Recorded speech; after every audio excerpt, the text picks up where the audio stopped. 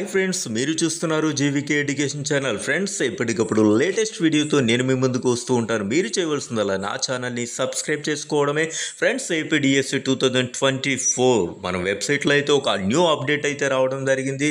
So ఎప్పటి నుండి DSC notification వచ్చిన దగ్గర నుండి కూడా డిఎస్సి ఆస్పిరెంట్స్ ఎవరైతే ఉన్నారో వాళ్ళు నిజంగా అయితే గందరగోళం ఒక ఏమి తెలియనటువంటి ఒక అయోమయమైనటువంటి పరిస్థితిలో ఉన్నటువంటి సందర్భం.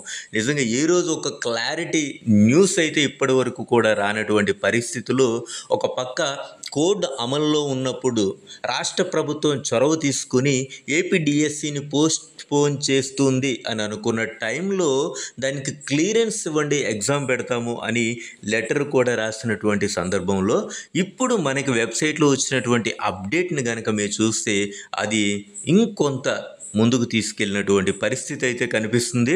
ఒకసారి వెబ్సైట్లోకి వెళ్ళి ఒకసారి చెక్ చేద్దాం ఫ్రెండ్స్. ఇక చూడండి మీకు స్క్రోల్ అవుతుంది.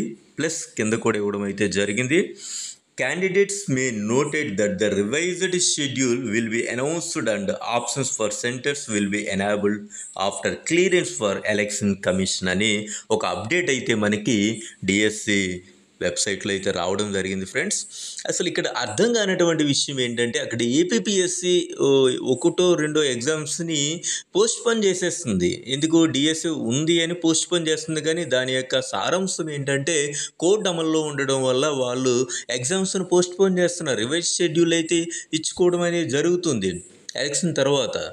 సో ఇక్కడ చూస్తే పూర్తి విరుద్ధంగా ఇంత కోడ్ ఇంత వ్యతిరేకత ఉన్నటువంటి సందర్భంలో కూడా ఏదో విధంగా ఎగ్జామ్స్ కండక్ట్ చేయాలి అని ముందుకు వెళ్తున్నటువంటి పరిస్థితి ఎవ్వరికీ అర్థం కానటువంటి అయోమయంలో ఉన్నటువంటి పరిస్థితి అయితే కనిపిస్తుంది. ఈ టెన్షన్లో ఇంత ప్రెజర్ వాతావరణంలో ఎవరు బుక్ తీసి చదువుతారు? అసలు అర్థం కానటువంటి పరిస్థితి. ఎందుకు ఎలక్షన్ అయిన తర్వాత లేకపోతే ఏదో విధంగా పోస్ట్ పోన్ చేసి ఒక మంచి డేట్ అనేది ఇచ్చి ఎగ్జామ్స్ కండక్ట్ చేస్తే బాగుంటుంది?